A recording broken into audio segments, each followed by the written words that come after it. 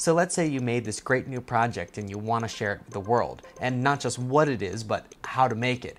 After all, part of the fun of being a maker is sharing what you made and how you made it. Luckily, we have Make Projects for this purpose, and I want to show you around a little bit. So, what is Make Projects? It's a free how to community from Make Magazine where you can find step by step instructions for tons of projects. Not only can you post your own how to guides, but because it's a wiki, you can also make tweaks to existing guides. First, let's browse around the site a little bit. You can explore project topics here, check out featured projects here, and then down here are the newest and most popular projects. Let's explore a project now.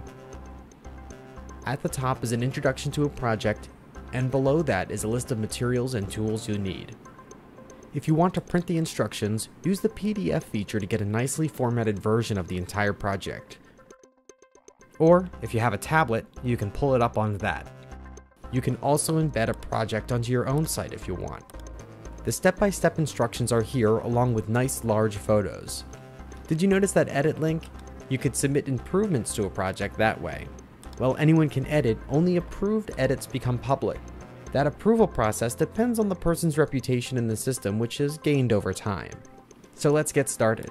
After you've created an account and logged in, click Contribute and then Create New Project. You can submit instructions for a specific project or a general technique. Then choose a topic. Keep in mind that a topic can be under multiple areas. For example, the topic soft circuits is under craft and electronics, so if you choose that under either area, the project will appear in both areas. You can optionally select a secondary topic. Next, choose a title. Make it as clear, short, and simple as possible. Then write a summary. This is like a subheading for your project. Then write a short introduction for your project. You can use wiki formatting here to make headings, text formatting, and even embed video, and photos. Here's what the wiki code looks like to embed a video. Below that, add flags to your project.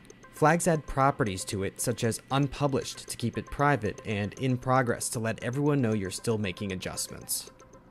After you save that, check out the metadata page. Here you can enter the time required, the difficulty,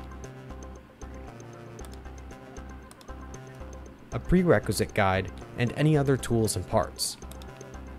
There's already a very large parts and tools database, so when you start to type a part or tool, it may pop up. Now let's talk about taking photos of our build. Since documenting a project can sometimes mean taking photos of small details, I recommend a point and shoot camera with a macro mode, or a macro lens on a camera that takes interchangeable lenses. This will allow you to make very tight close-ups on small details. You'll also want to take photos in landscape like this, not in portrait mode, so that the picture fits nicely into the page layout.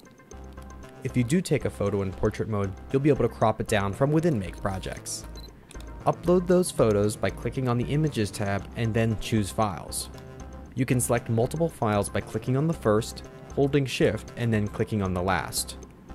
The images must be at least 800 by 600 pixels, and you'll have a chance to crop them down if necessary.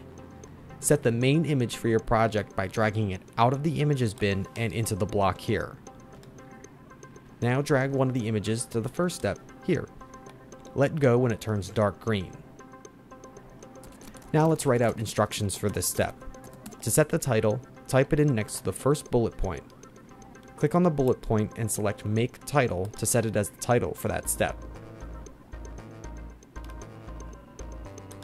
Then outline that step by adding a bullet point for each detailed step within that main step. Simply click here to add a new step. If you want to rearrange your steps, go to the main page of your project, select Edit, and then drag the steps by the number into the new order. Be sure to click Save.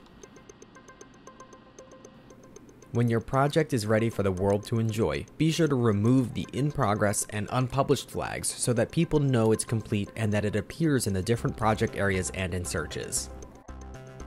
Now all you have to do is go out and share your brand new project guide. So that's just a basic overview of Make projects. The best way to learn is to just jump right in and start to add your own projects. And if you're looking for inspiration, check out all the projects that are available in all the different areas. So long. Thank you.